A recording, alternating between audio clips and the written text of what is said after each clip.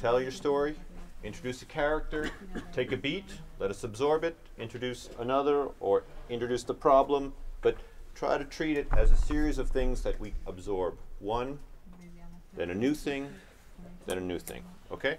One thing we asked people to do when they first came um, up this morning, and I think a little bit last night, is come on up,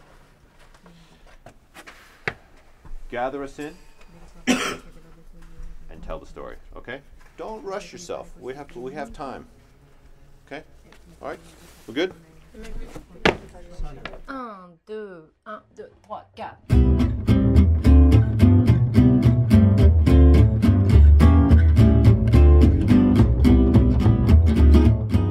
Okay, guys, I have two stories for you. You can choose between uh, theme what's about uh, religion, sex, and alcohol, and the second one is about uh, smoking marijuana, old people, and communism. We are in a countryside, uh, in a little town of Puglia. Sveva is uh, 17 years old and she moved around Italy due to his father's job. A farmer goes out from the comes out from the house. Okay. In a not distant present. After the oil war and before the water war. She's a little girl. She's 12. And she lives alone with her father. At this moment, she understands that he has something that the man of the village doesn't have.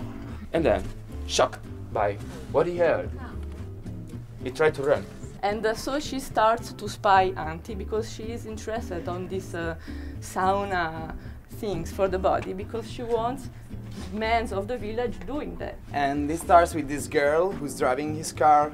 But Maria is the typical southern Italian grandmother. She's uh, fat and good, and she communicates with gestures. Uh, she's very tender.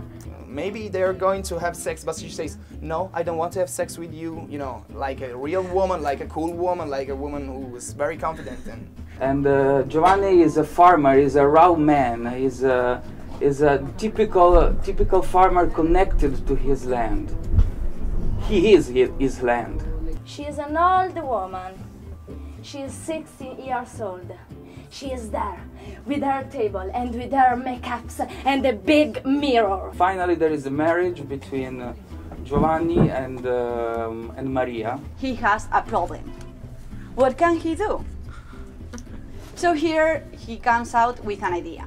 She makes a new life.